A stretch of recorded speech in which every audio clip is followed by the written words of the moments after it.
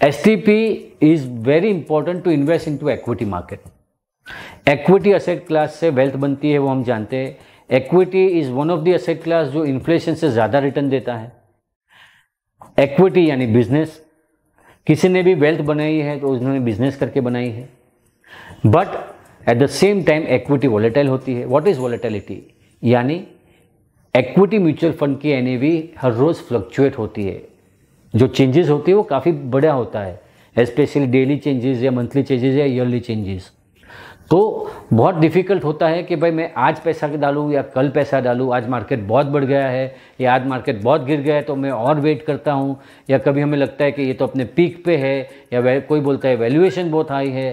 तो काफ़ी सारे आउटसाइड नॉइज़ से हम कंफ्यूज हो जाते हैं कि एक्विटी असेट क्लास में इन्वेस्ट तो करना है, लेकिन कब करें? तो या तो आप उसको टाइम कर लो, यानी आप टैलेंट डेवलप करो, कि आप टाइम कर सकते हो, कि आपको पता होना चाहिए कि आज का दिन एक्विटी म्यूचुअल फंड में डालने के लिए बेस्ट डे है।